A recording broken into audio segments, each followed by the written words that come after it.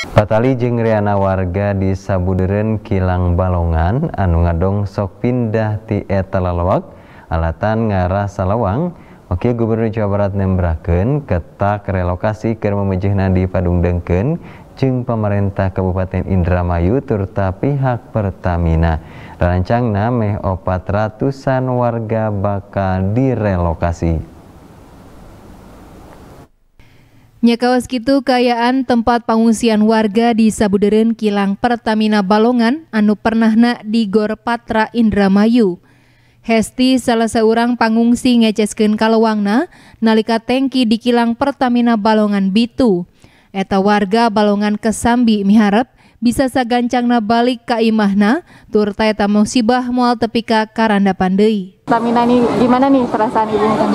Perasaan kasusnya minta buat pasang. Takut bu, nah. oh deg-degan kan bunyi suara itunya tuh bu sebelum meledak itu kan kayak kayak gempa gitu tapi kok gempa kok nggak goyang gitu kayak suara Ya.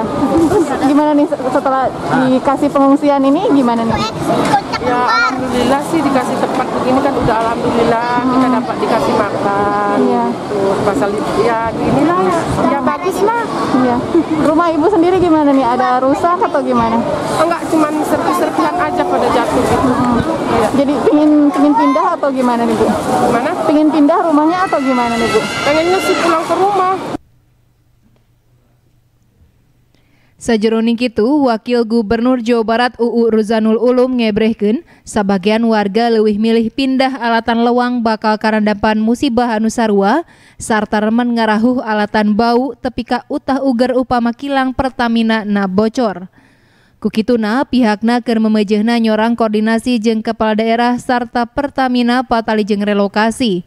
Tapi tangtuna aya protap anu kudu disorang patali jeung relokasi.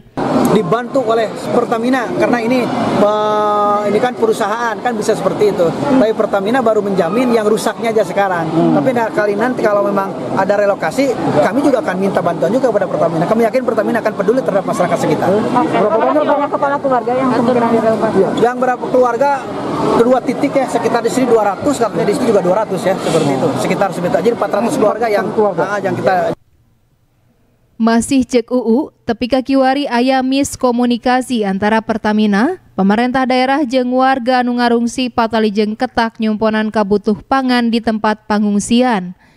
Tepi kakiwari mang ratus-ratus warga masih ngarungsi di dua lokasi, satu tas musibah bituna tengki di kilang Pertamina Balongan. Budi Hartati, Bandung TV.